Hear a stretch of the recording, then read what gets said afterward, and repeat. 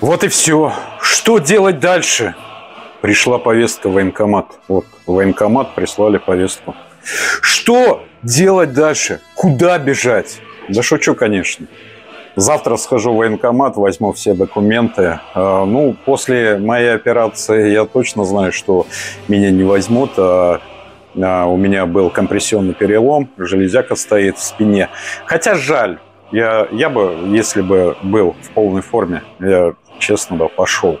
Но если возьмут волонтером за ленточку, я поеду. Тем более у меня здесь недалеко от Ростова, здесь совсем сущие километры.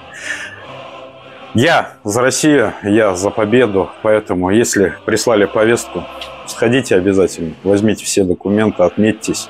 Может и мы на что-то сгодимся. Всем привет.